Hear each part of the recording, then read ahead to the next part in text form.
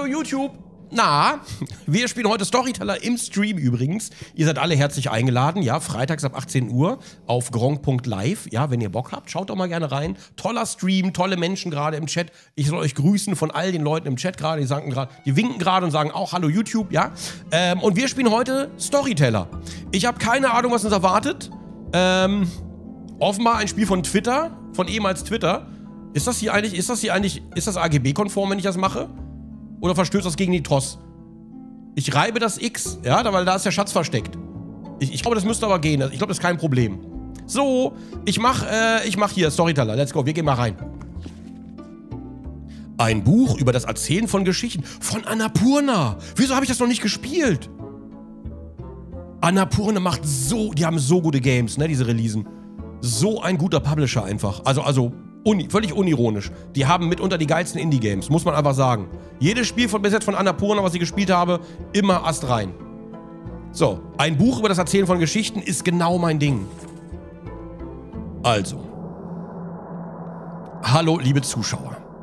Wisset bitte, am Ende dieses Buches wartet eine Krone. Sie wird nur den besten Geschichtenerzählern des Reiches verliehen. Jede Seite ist leer, bis auf einen Titel. Es ist deine Aufgabe, diese Seite mit den fesselndsten Geschichten zu füllen. Vervollständige dieses Buch und erweise dich des Titels des Geschichtenerzählers als würdig.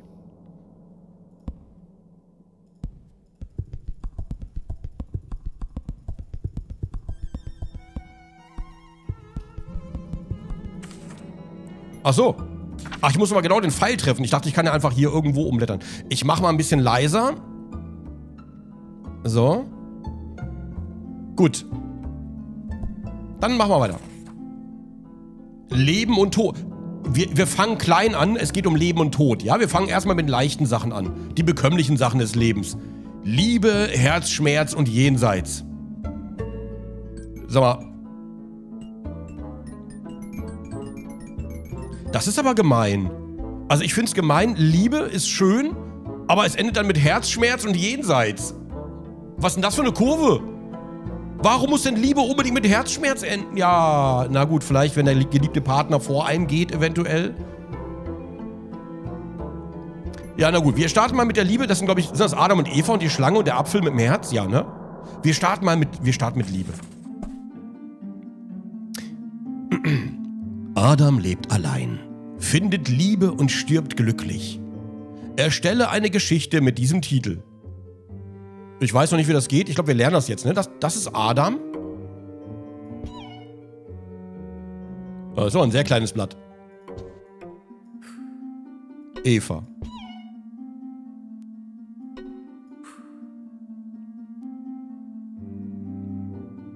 Okay, ich muss mich aber, ich halte mich an die Überschrift, ne?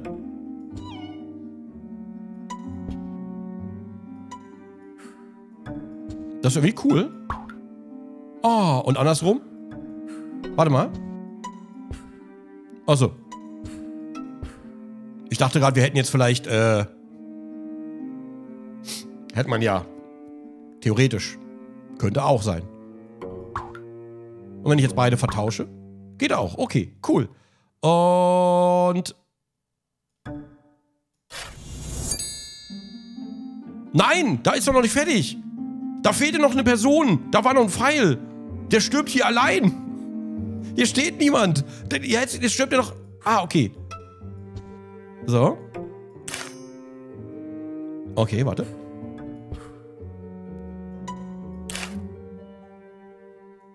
Ich teste gerade nur rum, ne? Gut, wir halten uns natürlich an die Vorgabe. So. Das ist schade. Aber was willst du machen? So. Es könnte nur noch merkwürdiger werden, wenn diese Dame aus einer Rippe geschnitzt wäre. Nur dann würde es merkwürdiger werden. Okay. Liebe. Ich glaube das Tutorial gerade. Aber wir testen das mal weiter, ne? Wir gucken mal. Eva stirbt gebrochenen Herzens. Nein, Eva, stirb bitte nicht. Weh, du stirbst, Eva. Wehe. Du, du wirst gefälligst ewig leben. So, Szenen. Lieben. Adam und Eva. Oh, wie sie sich liebten, und sie liebten sich gar ewiglich. und Liebe sollte ihnen gegeben sein, für immer da. So. Wäre das nicht viel schöner einfach? So? Wir haben sogar die Szene getauscht. Genau, vor Eva und Eva.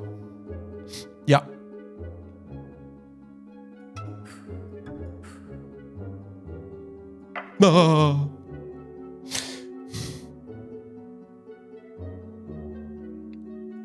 Ne, ich muss es anders machen, glaube ich, ne? Ich glaube, erstmal, erstmal ist äh, er hier. Und dann, äh... Okay.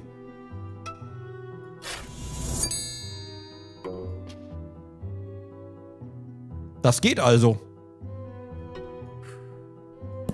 Warte, ich muss mal kurz was gucken.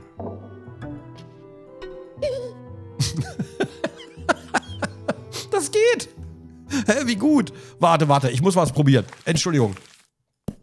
Das ist ja voll geil. Okay, pass auf. Also.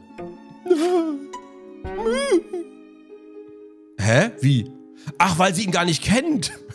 Weil die Geschichte jetzt neu anfängt. Die setzt nicht im Kapitel, also vorher an, sondern hier, das ist ihr hier egal, weil sie kennt ihn gar nicht. Okay. okay, warte. Okay, das geht trotzdem. Aber wenn ich jetzt hier so mache. Und dann so.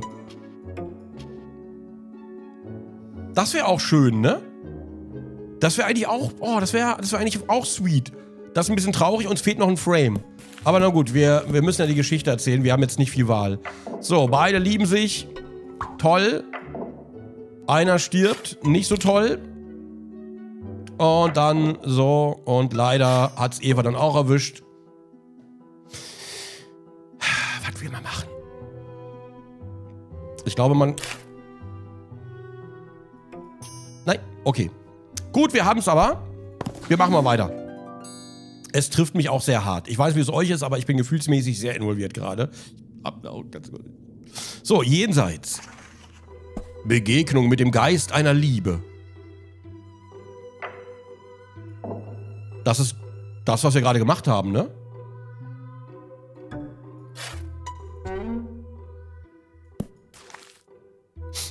Okay, die müssen sich also immer, immer erstmal lieben. Äh, Entschuldigung. Er kann sich auch selbst lieben, das geht auch, aber da kommt man in die Hölle. Wenn man das macht. Habe ich, hab ich gehört. So, die beiden lieben sich und leider so. Aber dann hat er beschlossen, ewig zu leben. Aber können wir das auch mal andersrum machen? Das geht auch. Ist trotzdem richtig. Ich halte mich aber an historische Fakten. Es gibt auch nur einen Grabstein. Ich kann leider nicht zwei Grabsteine machen. Die können nicht, die können nicht zusammen sterben. Das geht nicht. So viel Romantik ist hier nicht. So. Aber wir haben es eigentlich, ne? Ist richtig? Haben wir auch. Sieht gut aus. Freue mich. Herzensbruch. Heilung, Wunder, unglücklich Kummer. Sag mal, kann es sein, dass wir immer, dass es immer scheiße endet? Die ersten beiden Heilung ist ja was Positives. Dann ein Wunder, ein Wunder. Und dann unglücklich und dann, und dann aber nur noch Kummer. Das ist immer eine Abwärtskurve hier. So, ein gebrochenes... Wer sind denn die? Edgar, Lenora, Bernard und Isobel. Ein gebrochenes Herz wird geheilt. Hochzeit. Lenora und Isobel. Und Edgar. Und Bernard. Und Lenora. Und Isobel. Ach, die können aber nicht zu viert heiraten. Die können jetzt nicht, also das, das geht nicht, ja? Also so, so ist das jetzt nicht. Dass sie vielleicht mal eine Vierer-Ehe machen. Einfach mal. Das ist natürlich, na gut, nicht sehr progressiv, aber gut. Dann äh, machen wir es eben so. Ähm, ein gebrochenes Herz, das heißt, einer stirbt. Und zwar Bernard. Ihr ist aber egal. Sie gibt einen Scheiß drauf, weil Bernard war immer kacke. Sind wir ganz ehrlich. Ihr kennt Bernard. So.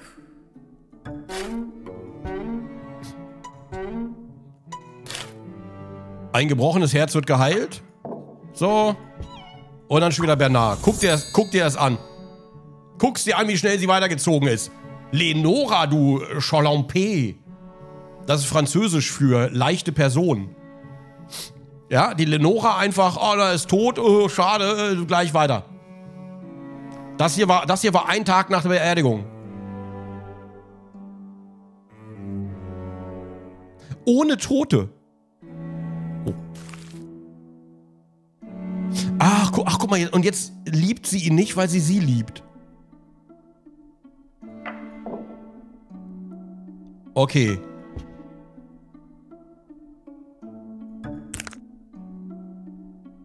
Das klappt nicht. Wie kriegen wir das jetzt ohne Tod hin?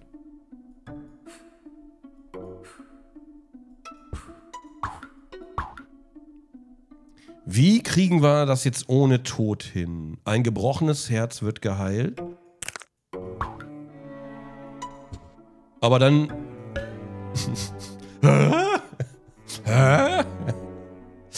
Äh... Ach so, klar, ich bin doof. Natürlich kriegen wir es ohne Tod hin. Pass auf, äh, so. Achso, Entschuldigung. Hochzeit. Und dann aber hier, ja, wenn die Lenora, die Lenora will ja nicht, dann äh, nehme ich den Notnagel Edgar. Edgar ist immer der Notnagel. Weißt du, Edgar kommt hier in der Story nicht vor, nur am Ende einfach als, äh, naja, als Trostpflaster quasi.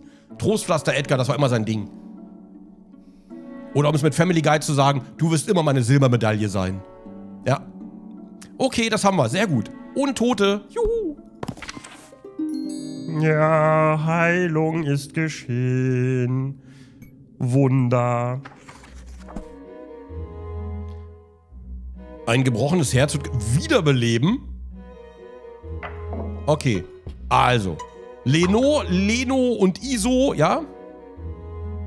Hört sich an wie irgendwelche deutschen DIN-Normen. Leno und ISO.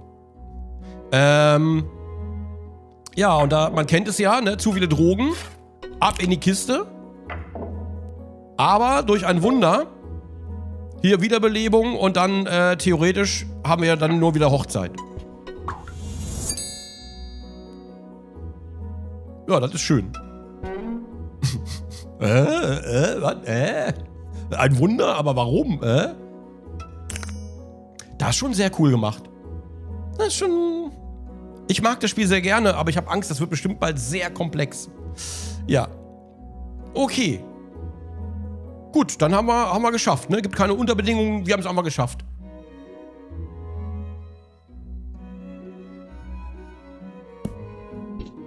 Ich bin neugierig.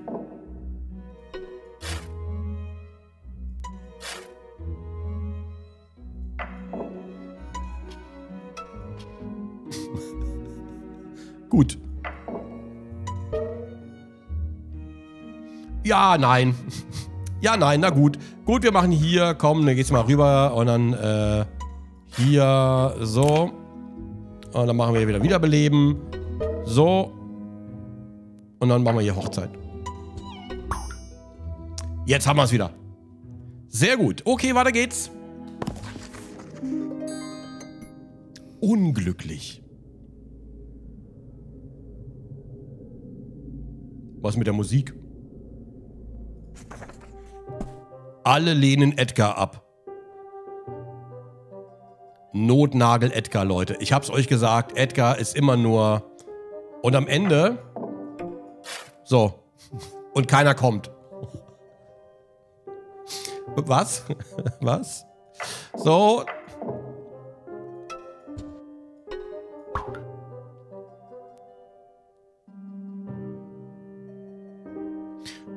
Ähm... Na, das können wir, das können wir nicht machen, ne? Weil sie ist ja so. Ja, wir müssen ihn noch irgendwie. Ah, okay, warte, warte. Dann ist, äh, warte, warte, warte. Hier. Gesterbst. Ach, sie muss, ja, sie hat schon abgelehnt, ne? Die stirbst. Und dann Warte, den muss ich, glaube ich, wieder rausmachen. Dann müsste theoretisch Bernard. So. Und dann... Hä? Ich bin... Ich bin dumm. Nee, sie muss jetzt sterbsen, ne? Sie muss sterbsen, so rum. So.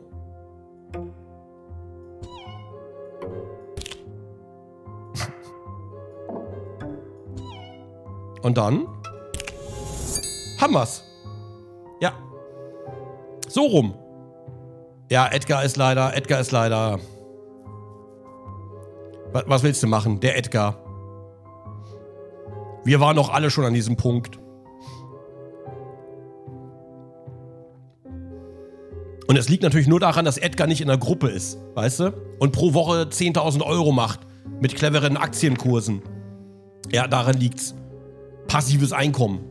Ja, aber wenn er in der Telegram-Gruppe wäre, dann wie die Schmeißfliegen. Ja. So, ja, das ist natürlich äh, schade. Schade, schade. Weiter geht's. Unglück haben wir, Unglück können wir und äh, dann würde ich sagen, Kummer. Geschichten können weniger Bilder enthalten. Überlebende Partner finden Trost.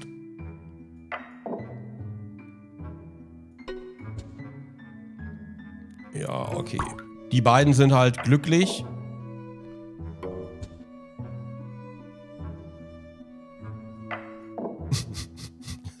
so. Keine Ahnung. Ich, ich möchte niemanden reinschieben, weil Edgar ist wirklich eine unangenehme Person. Also, also Edgar geht auf die Hochzeit. Er hat eine Hochzeit geplant, aber er hat, kein, er hat keine Partnerin, keinen Partner. Er hat niemanden. Er hat einfach nur eine Hochzeit geplant und geht alleine hin. Es kommt aber auch niemand zu Besuch. Da sitzt einfach niemand. Die Ränge sind leer. Äh, ja, der Edgar. Was willst du machen? Na gut. Aber über Kontaktanzeigen, ja, mit falschem, natürlich mit Fake-Profil, äh, vielleicht doch noch jemanden gefunden.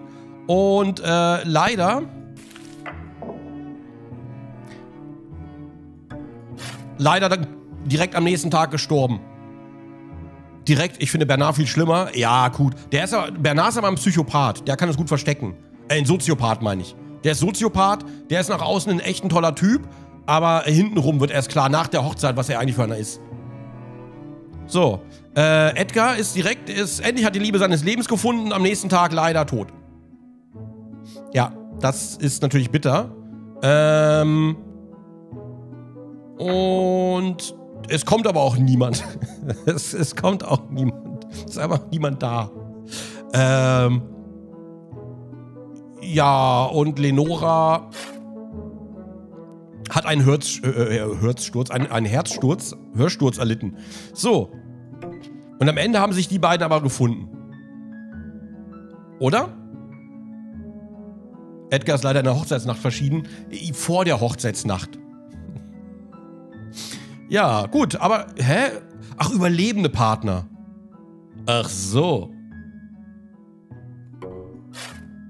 So, und so.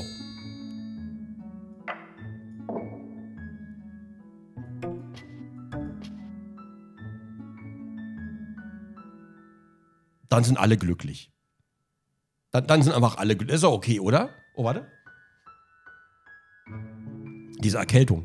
Äh, ja, ich finde das, find das okay. Kann man so machen. Haben wir das wieder. Okay. Kann Edgar sein eigenes Grab besuchen? Leider nein. Das geht leider nicht. So.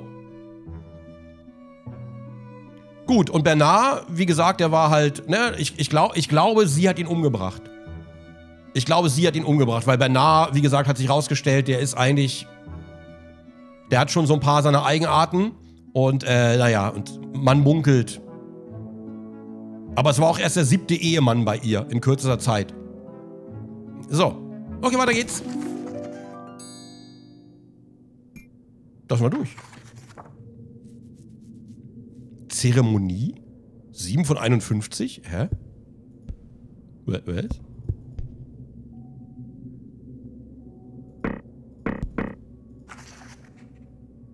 Huch? Hä?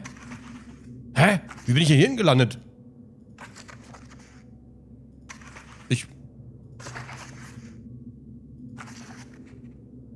Herrenhaus? Schönheit? Keller? Gift, Tragödie, Zorn, Neid. Was? Erscheinungen. Okay, Herzensbruch haben wir. Das ist aber ein sehr holsam Buch. Ähm, Erscheinungen, Kapitel 3. Offenbarung, Enttäuschung, Wiedervereinigung. Das war 1989, falls ihr euch erinnert. Äh, und Verhängnis. Hängt alles zusammen mit der Wiedervereinigung. Erst die Offenbarung, dann kam die Enttäuschung. Nee, die kam erst nach der Wiedervereinigung, glaube ich, ne? Und dann kam das Verhängnis. Ich glaube, ich glaube, so war es, ne? Ja. 1990? Nee, das war Oktober 19... Oh, war es nicht? Das war doch Oktober 1989. Ich bin mir fast sicher. Ach, 89 war Mauerfall. Entschuldigung, Entschuldigung. Ich, für mich ist das dasselbe. Als die Mauer fiel und alle sich in den Armen lagen. So, ja? Ich habe es im Fernsehen gesehen. Auf, in einem 4 zu 3, in so einem 4 zu 3 Kasten, die noch richtig fett waren, einfach die, die Dinger. So, diese, ja. Okay. Ja, David Hasselhoff hat gesungen, aber daran wollen wir uns nicht erinnern, ja? Das wäre dann eher, ich weiß ob das Enttäuschung wäre oder Verhängnis. Ich bin mir nicht ganz sicher. Oh, okay. Offenbarung, let's geh. let's geh. Let's go. Edgar schockiert sich selbst.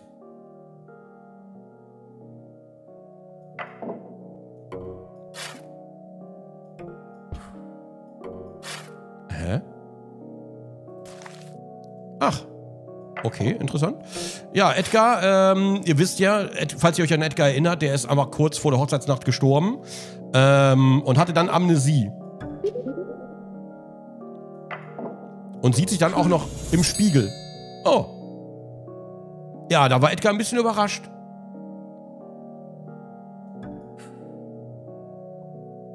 Ja, okay. Aber wäre er nicht auch verwundert, wenn er Amnesie hätte und hier? Achso, hat man ja schon. Ja gut, äh, Edgar, das ist, äh, ja, okay, cool. Weg mit dir, Edgar. Hier kommt wieder was. Enttäuschung. Von Partnerin abgelehnt. Die Enttäuschung. Seit wann können sich Tod im Spiegel sehen? Seitdem sie keine Vampire sind. Das geht schon, glaube ich, ne? Äh, von Partner abgelehnt, aber müssen alle abgelehnt werden? Tod wiederbeleben, aber ich...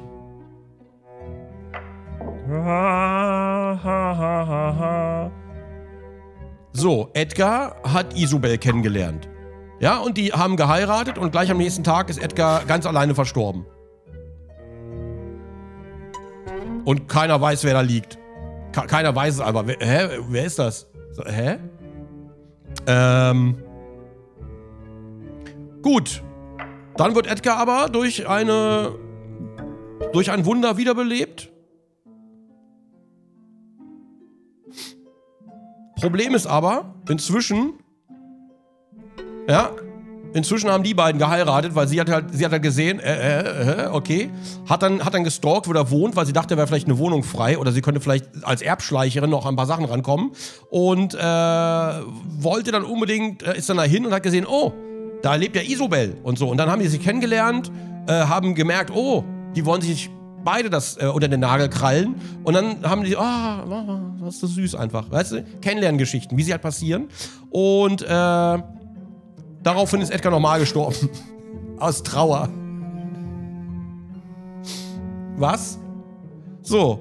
Und dann äh, ist Edgar nämlich bei der Hochzeit aufgetaucht. Als Geist. Gut, das hat nicht so richtig geklappt. Ähm ja, Edgar ist dann, Edgar lebt halt wieder und will natürlich zu seiner Isobel, aber die, die ist natürlich überrascht. Hä? Was? Aber, hä? Ja, und jetzt...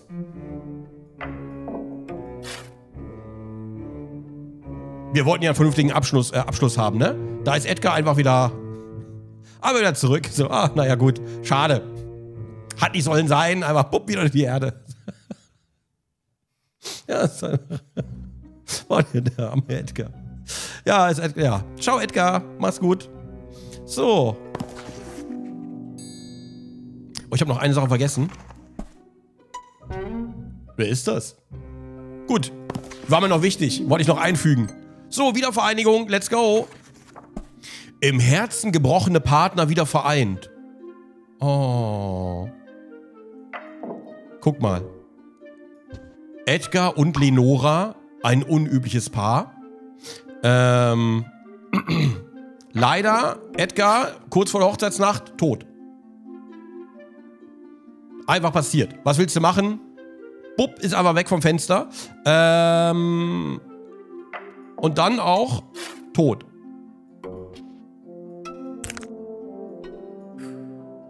So. Oh. Da kommt halt kein, ist ja klar. Ähm, und jetzt im Herzen gebrochen. Das ist irgendwie süß, ne? Aber sie müsste doch jetzt eigentlich so.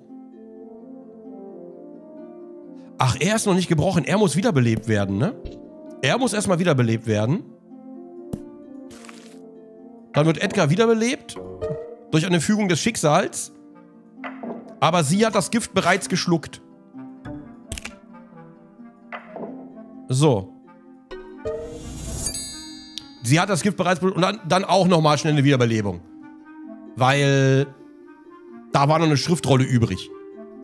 Ne? Und so ist Edgar am Ende, hier fehlt noch ein Frame eigentlich mit seinem Grab, aber eigentlich ist Edgar hier, da war Edgar für einen Tag lang glücklich. Edgar war für einen Tag glücklich, ja. Ach, im Jenseits.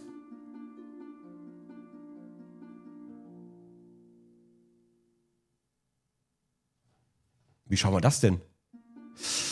Da müssen wir jetzt gucken. Im Jenseits wird schwierig, ne? Okay, die lieben sich und dann müssen die ja beide sterben. Dazu muss er erstmal wiederbelebt werden, ne? Aber sie wird dann nicht wiederbelebt, sondern er stirbt dann nochmal. So, im Jenseits.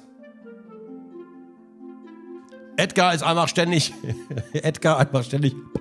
Hi, ich bin Edgar. Das ist Edgar. Edgar kippt immer um. Aber jetzt, äh, naja, guck mal, jetzt sind die im Jenseits wieder. Ist ja auch schön. Ach ja. Cool. Dann äh, haben wir das ja auch mal wieder gelöst. Fantastisch. Und dann Verhängnis. Herzschmerz für alle. Okay, also. Edgar und Isobel. Ja, ihr kennt die Geschichte. Ciao, Edgar. Kurz vor der Hochzeitsnacht, einfach umgekippt. So, dann. Isobel meint es mit Edgar sowieso nicht ernst. Ist dann direkt weitergezogen. Hat sich direkt Lenora geschnappt. Und, äh, wie machen wir das jetzt nochmal? Und dann ist aber Lenora komischerweise auch gestorben.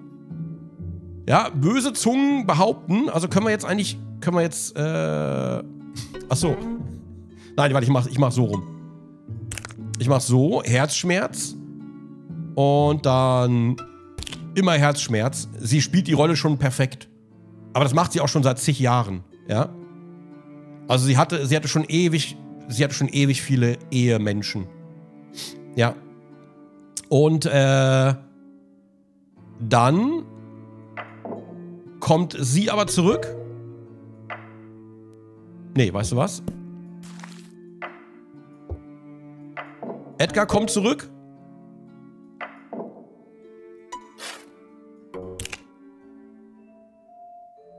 Und bleibt alleine, weil alle anderen tot sind. Aber eigentlich... Ach so. Ach, das muss umgekehrt sein. So rum muss es sein, ne? So. Muss ja Herzschmerz für alle sein, da. Ich wollte das so rumdrehen. Na gut. Ja, und dann bleibt Edgar einfach alleine. Aber ich meine, er stirbt nicht. Er, er stirbt nicht. Er, diesmal lebt er. Das ist doch was Gutes, oder? Er lebt alleine und einsam bis an sein Lebensende, das sich sehr, sehr lange herauszögert, klar. Aber er ist nicht tot. Also er war schon tot, aber dann nicht mehr. Ist das nicht schön? Das Wunder der Wiederbelebung ist doch was Feines. Ja, das ist, äh, oh, ist aber schön. Ja, und sie stirbt diesmal. Ah ja, sie stirbt auch nicht, aber äh, die kennen sich ja. Die kennen sich ja gar nicht, ne? Nee, die kennen sich nicht. Ja, easy. So. Gut. Erscheinungen. Keller. Gift, Tragödie, Zorn, Neid. Der meint euer Keller.